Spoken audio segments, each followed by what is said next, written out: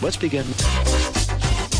Hi, this is Andreas and in this lecture we will complete the pivot table creating a new measure called sales per transaction. Again from calculated fields, new calculated field, choose orders for table name and type in sales per transaction for the calculated field name and the description.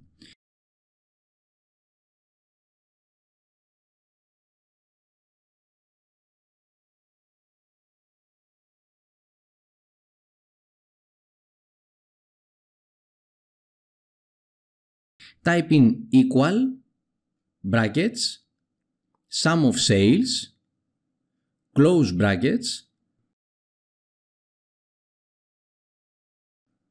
divided by brackets transactions close brackets.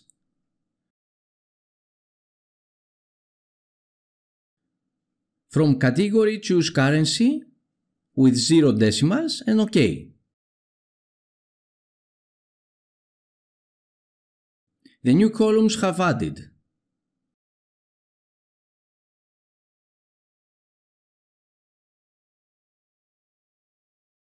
The next step is to convert sales to currency because we forgot to do it. Go to the bottom right corner and click the down arrow of sum of sales field and select value field settings. Then click on number format and choose dollar with zero decimals. Press OK and OK again. Look how all the sales converted to currency. The final step is to add a timeline and a slicer. Use a timeline to filter by time period. With your timeline in place, you are ready to filter by a time period in one of four time levels years, quarters, months, or days. Slicers provide buttons that you can click to filter pivot table data. In addition to quick filtering, slicers also indicate the current filtering state, which make it easy to understand what exactly is shown in the filter pivot table reports. So let's get started. Go to Analyze tab and click the Insert Timeline button. You want to filter by order date, so check this. Okay, move the timeline somewhere there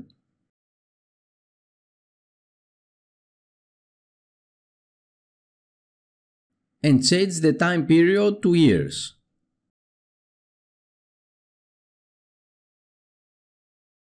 Now it's time for the slicer.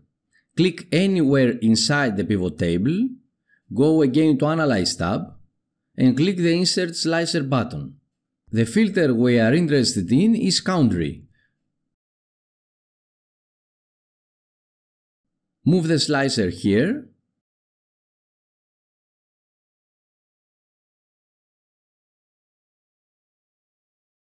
we have to change the columns of the slicer.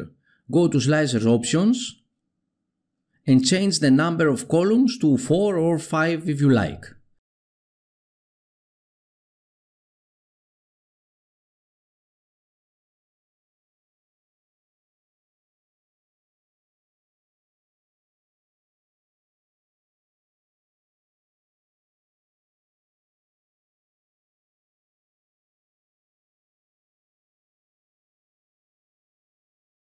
Finally, you can format both timeline and slicer, like this.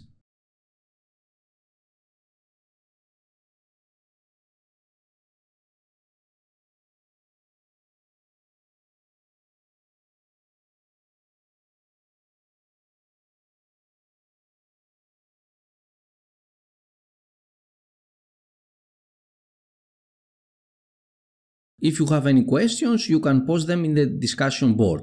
Thank you very much. Bye.